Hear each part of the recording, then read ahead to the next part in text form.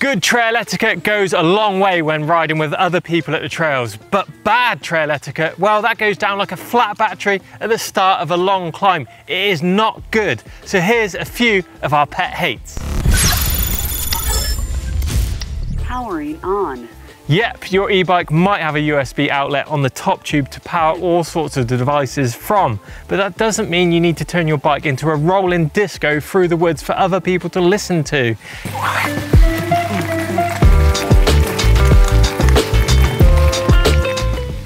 Mate, just turn that rubbish off. Oh, me? Sorry. Yeah, if you're running a Bluetooth speaker, you definitely want to leave that thing at home and save all those tunes when you get back. You don't want other people to be listening to your music whilst you're riding around the woods. At the trails, we all ride together, and if you start off with a snobbish attitude towards anyone that hasn't got an e-bike, for instance, just a standard mountain bike, well, you're definitely going to cause a rift between riders. As we all know, e-bikes can be super expensive to buy, and they're not everyone's cup of tea at the end of the day. So let's all just ride together and keep the smile on our faces.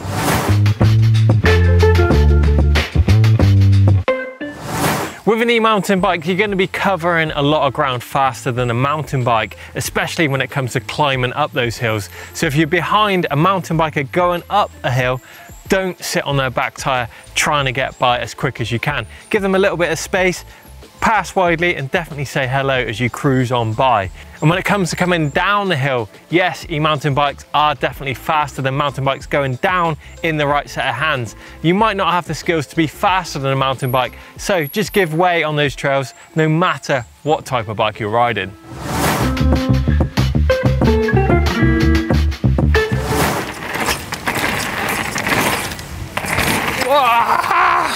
Yes, it's got to be a king of mountain. But one thing that will definitely upset a Strava user is to upload a ride using your e-mountain bike and not declaring it as an e-mountain bike, pretending you're on a mountain bike. Now roadies definitely have a massive meltdown about this if you're out on the road and beat them on a hill climb, for example. And there's loads of settings on Strava that will now allow you to change your ride as an e-mountain bike to make sure you, that you actually use this. In fact, the e-mountain bike category is getting massive now on Strava. So if that thing floats your boat, just make sure you use that right setting.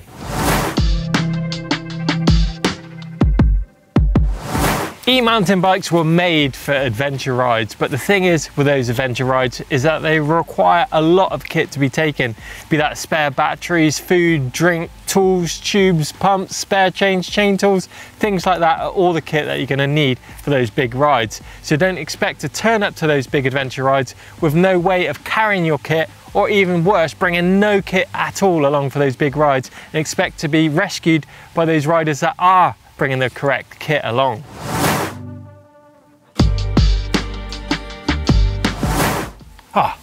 Riding your bike should be about getting away from that screen time and technology for quite a few hours. Riders that have that smartphone attached to their handlebars and click every single notification or reply to text messages can get pretty annoying. And don't even get me started on those loudspeaker phone calls that some riders have when they're riding along the trails. Hey, you alright, Matt? Yeah, all good. Yeah, oh, I'm out on my bike, but yeah, carry on. Oh, it was slamming, it's so good. Your phone should be kept in your pocket.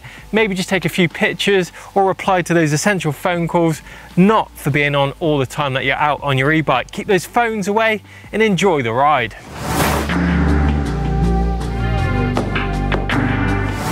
An e-mountain bike can cruise down the trails fast and also very silently too, meaning other trail users can definitely get the fright of their life as you approach them and come flying by.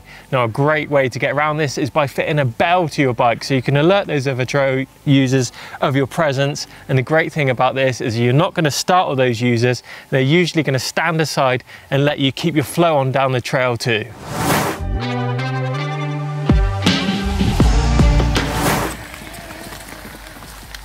Ah, no way.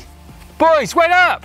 Big rides require a lot of juice in the tank and if you're lucky enough to own a second battery and your friend says to take your second battery along for that ride, then you definitely should take their advice. If you do go flat out on that big ride, don't expect any sympathy from them or a tow home. Oh, come on, mate, just uh, hook that around your seat and drag us up this hill. Oh, come on. There's so many different variables that can affect your rides. Even those rides that you've done before on one battery might now require two.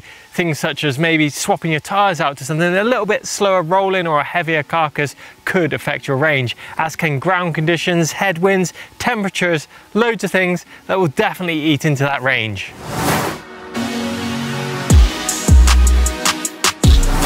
Now it's all very tempting to ride up the trail that you've just descended down, but you need to remember that it's not just you on the hill that day. And if you meet a rider coming the other way, things can get messy pretty quick.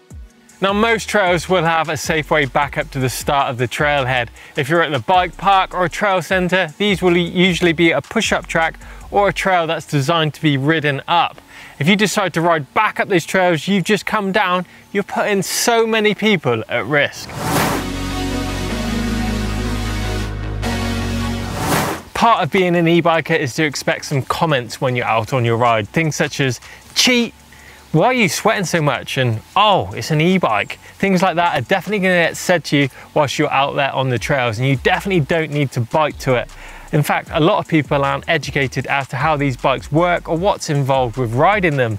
So just bite your tongue and crack on with your ride. Smile on your face whilst they're huffing and puffing, pushing their bike up the hill. So there you go, a bunch of things you should definitely not be doing at the trails to give us e-bikers a bad name. But get involved in the comments box down below if I've left anything out. Give us a thumbs up if you enjoyed today's video. Make sure you subscribe to us here on EMBN. Get in the merch shop to check out these new purple jerseys as well. They're pretty cool, right? See you next week.